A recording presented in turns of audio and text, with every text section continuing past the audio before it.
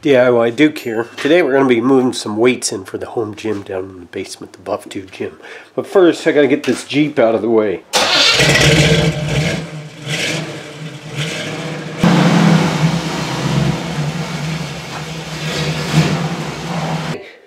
Got some Vanco 25 pounders. Going to move these weights in.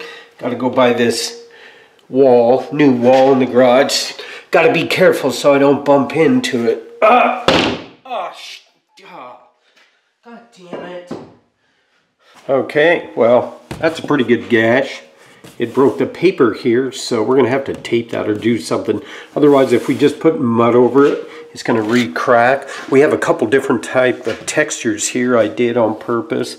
The orange peel, which is very common, and a machine broke or knockdown. Orange peel sprayed on in a little heavier fashion. It's set up a bit and then it's wiped down with a knife. So we'll go ahead and fix that. Really simple. Then we'll redo the texture on that and that'll be good to go. Which we have some mud, six inch broad knife, a pan, we're going to use a sanding block this time, have a sponge for blending, and a utility knife which will cut that thing out of in a piece of sheetrock and a little water to mix that up. So let's go ahead and cut this out. So you basically got your patch cut out. Now there's some paper back there, but as you can see, it's not very strong. I'm going to do a little square patch here too and do them both. Okay, really simple. What we're going to do is turn this drywall over while the back side is showing. We're going to take that square we took out and basically lay it there. Then we're going to go past it about an inch, like so. It doesn't have to be even that square. You can freehand it go ahead and snap that. And there we got our piece.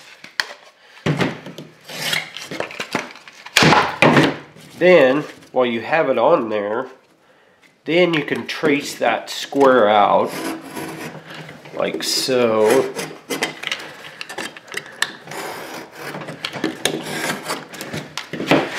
Go ahead and cut a little inside those lines so to make sure that fits good.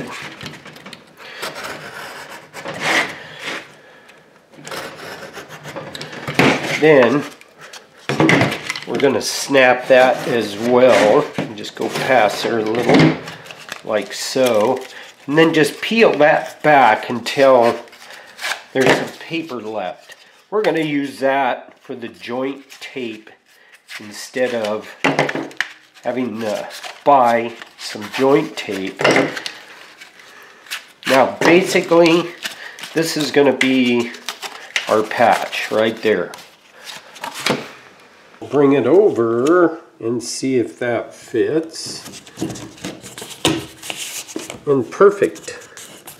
We can see how we're going to be able to just tape that and that's going to cover that hole instead of drywall mud, we're going to do it with caulking. That way you don't have to mix a bunch of mud up and stuff like that. One time I had run out of mud and I thought I would improvise and I'd use this caulking. Now this is just the latex caulking. It's paintable and washable with water. It's not silicone. As you can see it's white. I just put a smear a bunch on there.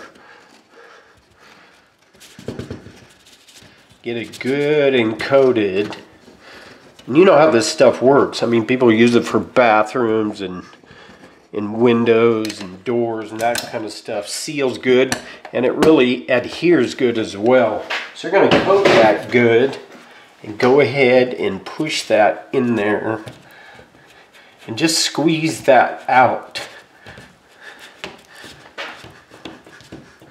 You can see that squeezes out real nice. Use your fingers. Then you can get your broad knife. And see it acts just like mud. I've used caulking in a lot of applications in drywall It's because a lot of times it's faster. You can see the indentation forming from the patch. Just cover that with caulking. And that's going to be good and glued. So we're to let that set, do its thing. We'll go over it again. The caulking shrinks back. So we'll put a couple coats on there. Meantime, let's go ahead and fix the circle the conventional way with some fast set drywall mud. Let's go ahead and fix this one. We gotta cut a circle, obviously. And that is about four and three eighths. So we're gonna use our circle cutter and set it on four and three eighths, which is right about there. But remember, we're gonna do it the same way we did the square one. We're going to cut it a little past so we can use that paper. So we'll stay away from the edge about an inch. And just go ahead. You don't have a circle cutter, you can use a nail and a string. Well, it's easy to do it with just a string if you want to cut a circle. Just make yourself a loop. Put your nail in. Now we want four and three eighths, so we're going to go half of that. Which is two, three sixteenths. So it's going to be there. I'm going to wrap our string around our pencil. And then we're just going to make a circle.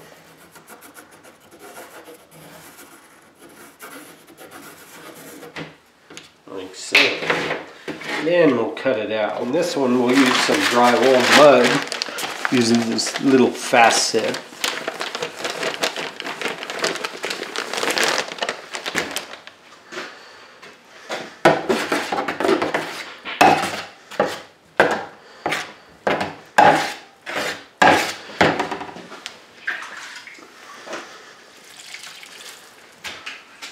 Get it like ice cream soft ice cream.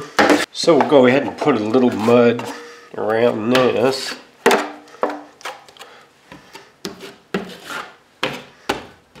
It's enough to stick that patch on there.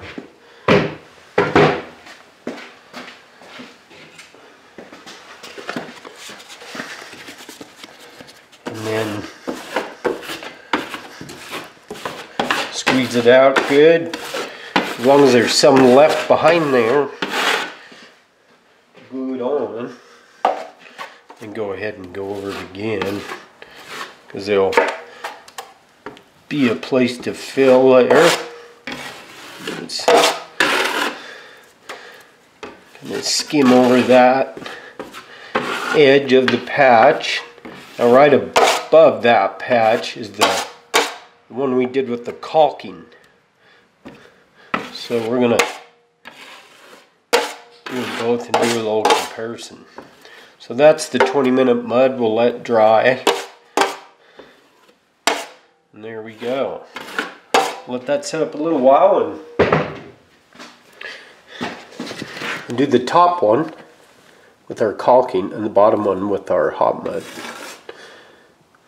This is my preferred way. It's easier. Don't have to mix up mud is a tuba caulking. The only thing is you'll have to use a sponge to feather their edges, whereas this one we're going to use a sanding block. That's the difference. Okay, this is looking good with the caulking side. Let's put some more caulking on there. See if we get this looking good.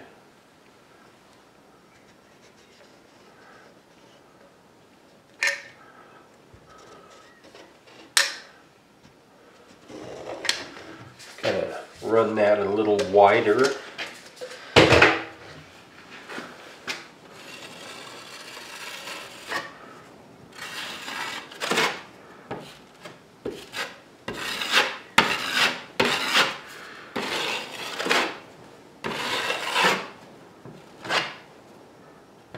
A little lump.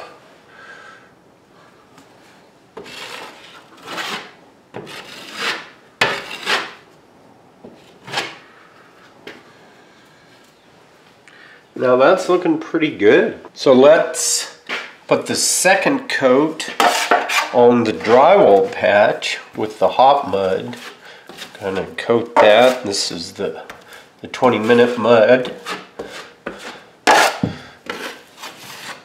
Scope that out a little. Looking pretty good after the second coat.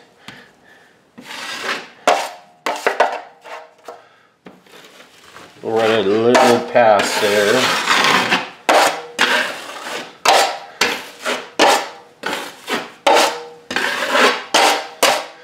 That'll be good. And again, this one we're gonna sand. And the caulking one we're not. Yeah, let's take a look. So here's our fast set patch, which is two coats. And here's our caulking patch, which is basically one coat after we set it.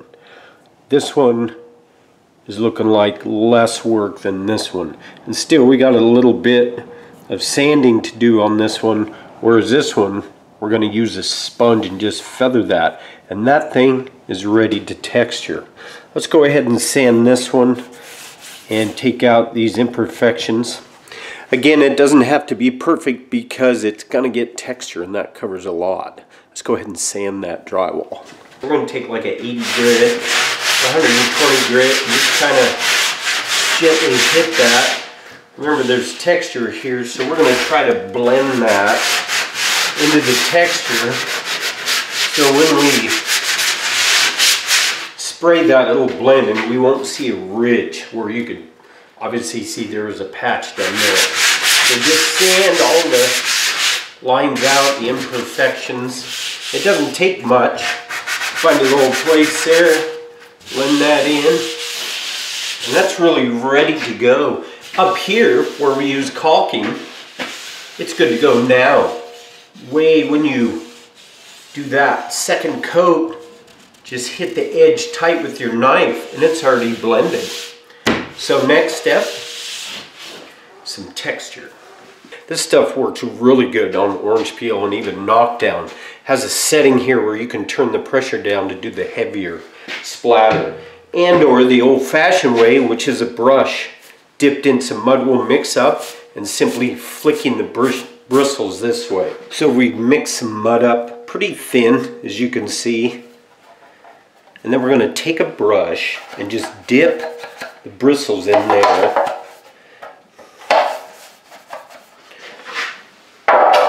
And then just flick this stuff. As you can see, it does a nice job of replicating an orange peel.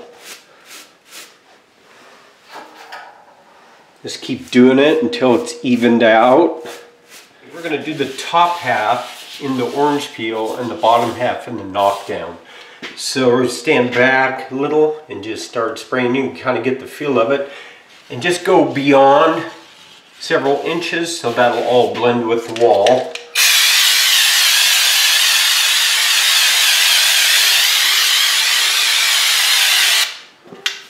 and that's looking good. Remember this stuff will shrink back. So spray it in a pretty good amount there because it, it'll absorb into that patch and then shrink back a little bit and flatten it out. And that's gonna blend really well with the stuff we already have. And do the knockdown on this lower portion. We turn this dial counterclockwise and that's gonna give us a heavier texture. So let's do that.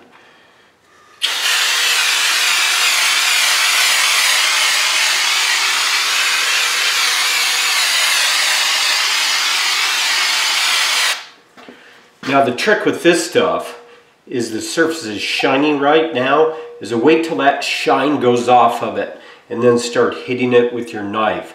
That's gonna flatten the top parts out without flattening it too much and making it look like a mess. Okay, this knockdown is looking pretty good. It's barely shiny there. It's going away. I don't wanna wait too long, it'll be too dry. So we're gonna just take our knife and just slowly go over it Kind of push down on there. It depends upon the knockdown on the wall, if it's heavier stuff, see that's looking good. I can put some pressure on that and get that knocked down really well. Let's see how our texture's doing after paint. Our first textures over here, we're done with a brush. A little bit heavier. That's an orange peel. It kind of stands out as you can see.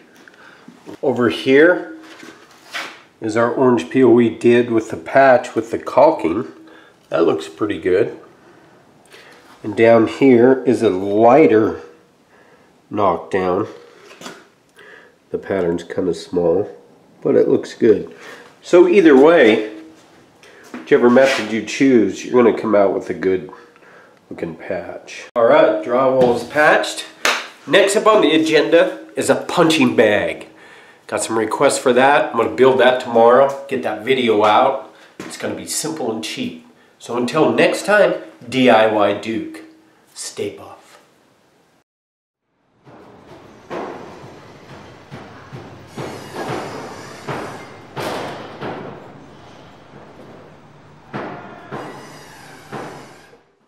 Want to do some drywall? Hey Samson, over here. I need some help. Hey, get out of that mud, boy. What do you think? Are you going to help? Huh? Mr. Snoopy. Hello, Mr. Snoopy. Here he goes.